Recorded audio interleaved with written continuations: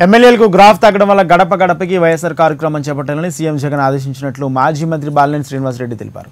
Graph తగ్గిన ఎమ్మెల్యేలకు ticket ఇవ్వడం జరగదని సీఎం స్పష్టం చేసినట్లు తెలిపారు. ప్రజల్లో పార్టీ పట్ల సానుకూలత ఉందని ఎమ్మెల్యేలు ప్రజల్లోకి వెళ్ళాలని వివరించారు. కొందరు ఎమ్మెల్యేల పనితీరు బాగాలేదని సరిచేసుకోవాలని సూచించినట్లు చెప్పారు బాలినేని.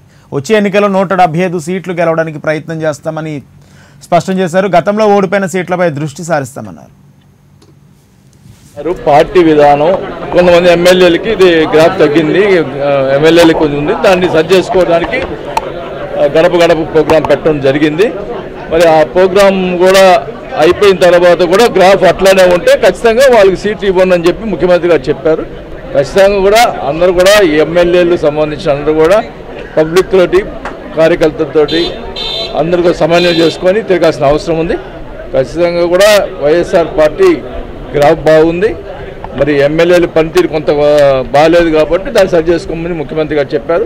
సాధ్యం కాదనేది ఏమి ఉండదు అంటే నూట డెబ్బై ఐదు సీట్కి ప్రయత్నం చేస్తాం. ఎన్ని గెలుస్తామని అనుకుంటే డెఫినెట్గా గతంలో కంటే నూట యాభై ఒక్క సీట్లు వచ్చినాయి. దానికంటే ఒకటన్నా గెలవాలనే ఉద్దేశంతో ముఖ్యమంత్రి గారు లాస్ట్ టైం ఓడిపోయినటువంటి నాలుగు సీట్ల మీద అత్యధికంగా కాన్సన్ట్రేట్ జరుగుతుంది.